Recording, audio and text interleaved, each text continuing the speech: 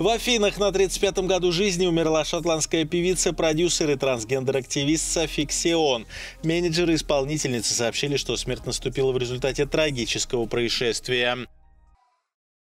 Софи родилась мальчиком в 86 году в Глазго. Известность к ней пришла в середине десятых. Единственный студийный альбом в 2018 году номинировался на Грэмми. В заявлении отмечается, что Софи была пионером нового звука и одним из наиболее влиятельных артистов последнего десятилетия. Кроме этого, она выступала продюсером многих известных исполнителей, включая Мадонну, а также боролась за права ЛГБТ-сообщества.